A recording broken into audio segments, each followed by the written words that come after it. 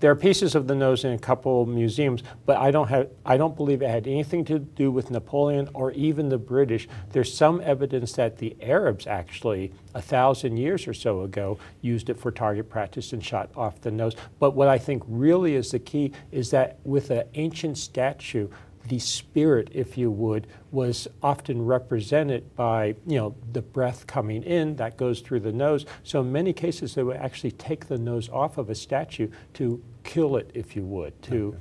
make it no longer a living object. All right. Now, what can you tell us about the ancient Egyptians before we move on? Several authors and historians have commented on what they perceive as distinct Negroid characteristics on the Sphinx. What, what can you tell oh, us I'm, about I'm absolutely convinced that the current head of the Sphinx, but as I said, this is a recarved head from dynastic times. I'm convinced that this is an African head, whatever term you want to use. I'm American. We would say um, African or Nubian or, you know, maybe from the Sudan region. And we know that the early dynastic Egyptians, actually, there was a much stronger, should we say, African influence um, in Egypt, even in the pharaonic family. So okay. to me, it's, it's, it's clearly a, in America, we would say a black African head. Okay. So and this is an African civilization, let's right. face it. But when we see Hollywood and cartoons and history as being depicted today, um, what do you say about the authenticity of what they're portraying as ancient Egypt? Oh, it's most of it is not authentic at all. It's really a reconstruction. I've been at actually conferences where this has been discussed by myself and others, where much of Egypt is portrayed as, I hate to say it this way, but as the British reconstructed it in the 19th century in a very, to be blunt, racist point of view, mm-hmm. where they wanted to deny the um, African aspects of what is a great African empire. Okay.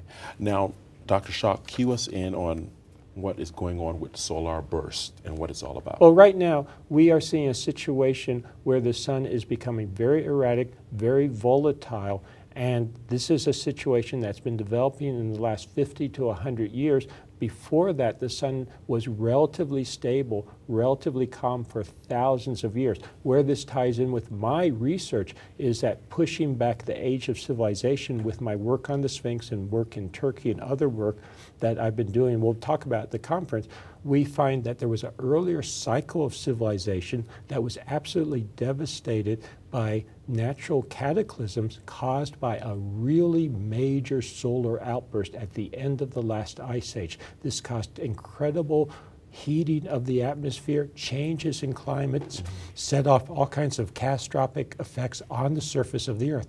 Now, I don't want to be a fear monger. I don't want to scare people, but we have to look at real evidence. Right. And the real evidence from isotopic analysis, from ice cores, from sediment cores, all kinds of data is that the sun goes through periods of being very volatile, very erratic. Then it essentially calms down for thousands of years but then it starts getting erratic again. Okay. That's what's happening now in the past century or so. It devastated an earlier cycle of civilization.